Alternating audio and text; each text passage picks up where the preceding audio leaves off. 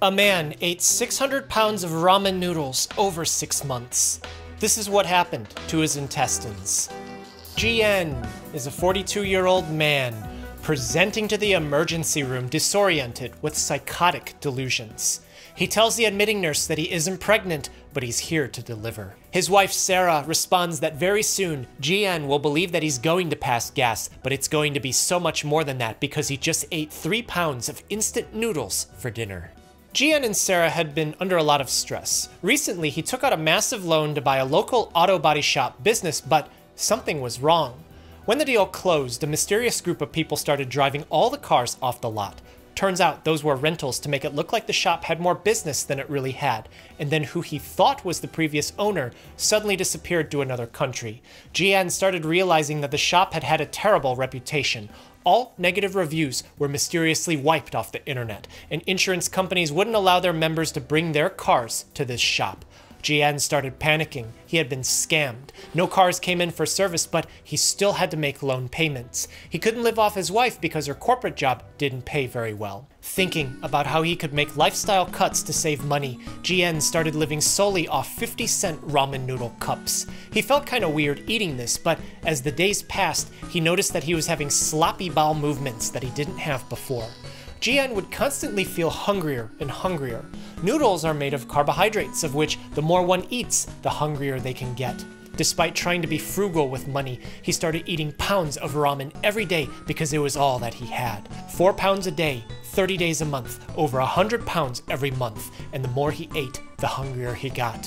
One evening, GN woke up in a cold sweat. He told his wife that he was communicating with himself in an alternate timeline where he was married to her sister.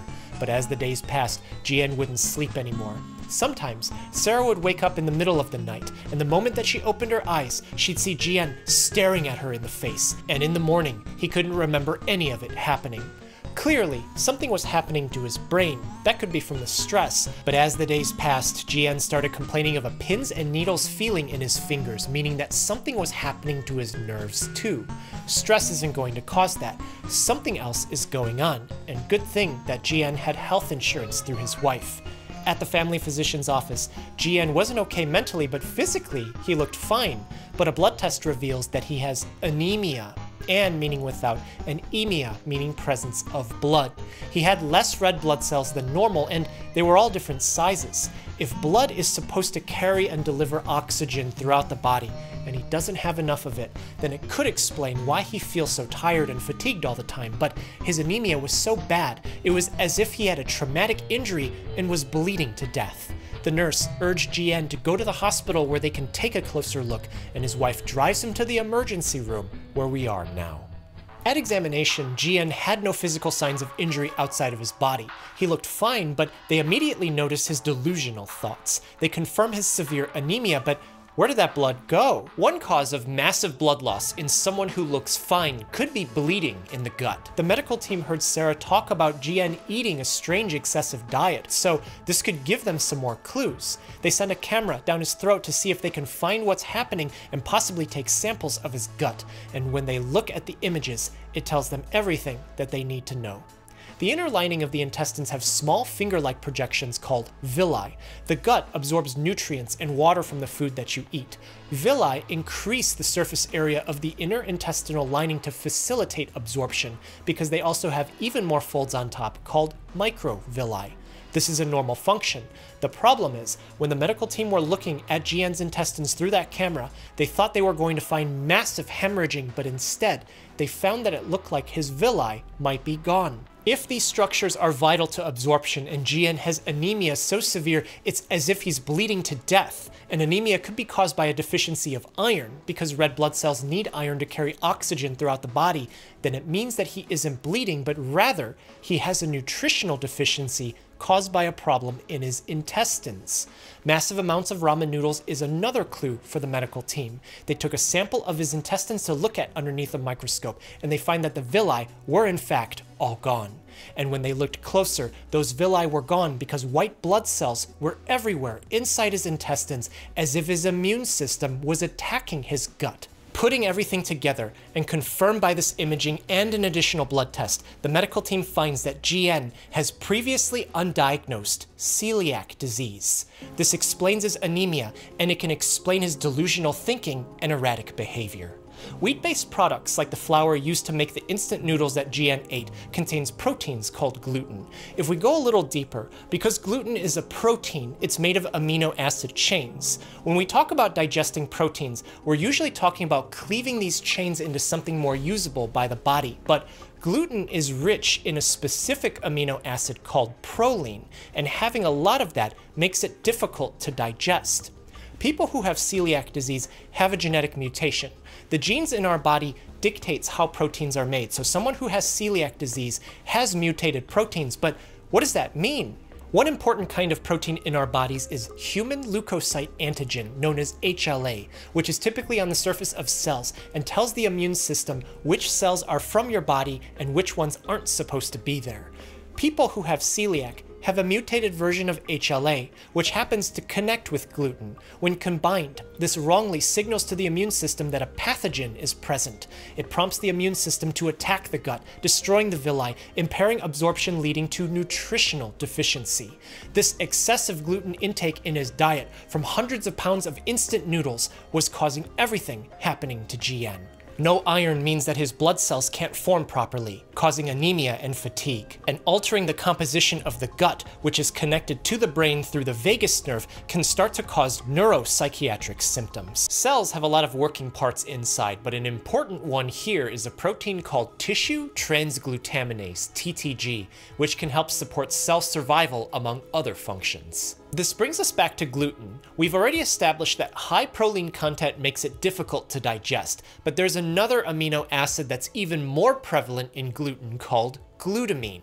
The problem is tissue transglutaminase transglutaminase, which is everywhere, converts glutamine to something that makes gluten bind really strong to celiac mutated HLA, causing the extreme immune system response, and it's still not over. People who have celiac disease have antibodies against TTG. This is often the blood test used to diagnose celiac, but also interesting is that these antibodies disappear on a certain condition where no more tissue damage is occurring anymore, which means for someone who has celiac, all of this stops happening when gluten isn't present anymore. At this finding, the medical team start to replenish GN's deficient nutrients, but not by mouth.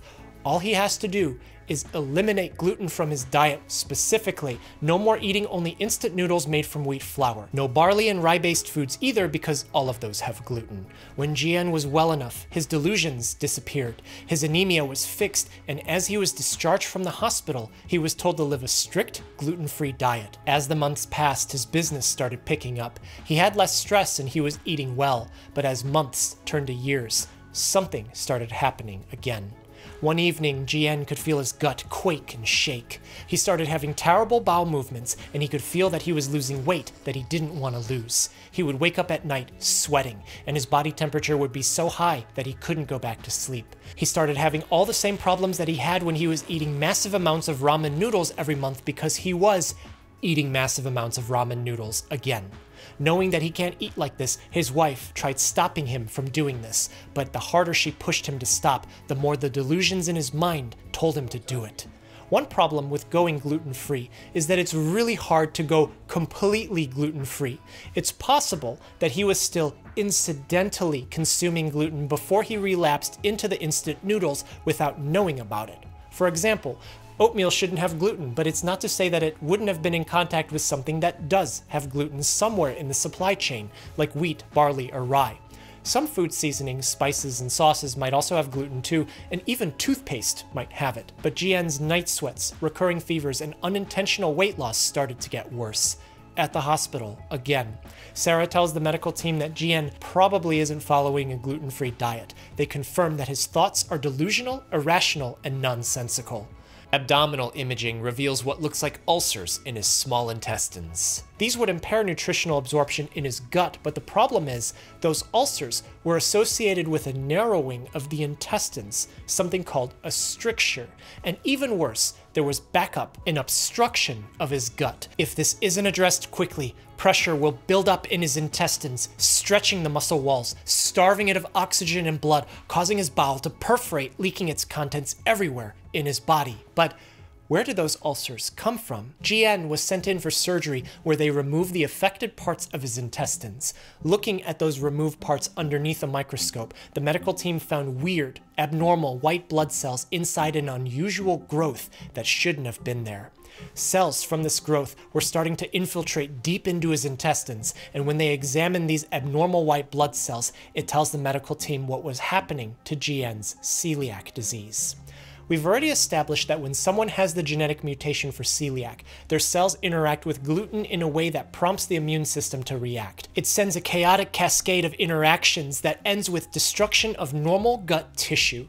The problem is, over a long period of time, when gluten is continuously ingested and this interaction doesn't stop, some of the white blood cells involved in the immune reaction start to change. Somewhere, possibly in this chaos, the genes of these cells get rearranged and they start to grow in a way that they weren't meant to grow, and they start to act in a way that they weren't meant to act. Celiac disease is an enteropathy, entero referring to the intestines, and opathy denoting a disturbance of a necessary for life function. Given that the white blood cells found in the parts of GN's intestines that were removed were supposed to be T cells, and that there was an abnormal growth of tissue inside what looked like ulcers, all of this indicates that GN has enteropathy associated T cell lymphoma, EATL. OMA, referring to an abnormal growth associated with lymphocytes, the kind of white blood cell found in his gut because of enteropathy. This didn't have to happen.